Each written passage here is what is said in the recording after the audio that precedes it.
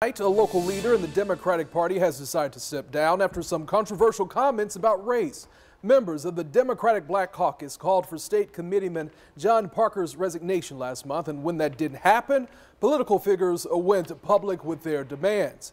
First Coast News reporter Julia Janae has been following this story. I know you did the original story on Monday telling us about when this all happened. So just kind of refresh our memories. That's right. Well, these comments that were alleged to have happened happened back January 22nd at an informal dinner. What I'm holding here is John Parker's resignation. In it, he acknowledges that he misspoke and used language that was hurtful. Now, that misstatement, according to local political candidate Diallo-Sekou Seabrooks, who was there at the dinner, included the word colored being used to describe African Americans and, and disparaging remarks about integration. Now, within the last two days, lawmakers have been pushing for Parker's resignation, including State House Representative Kimberly Daniels, Tallahassee Mayor Andrew Gillum, and Senator Audrey Gibson here in Florida, all of them claiming this is a distraction that could divide the party. Now, Parker is also married to Lisa King, the chairman of the Duval County Democratic Party. She said in a statement today that she is accepting the resignation of John Parker as state committeeman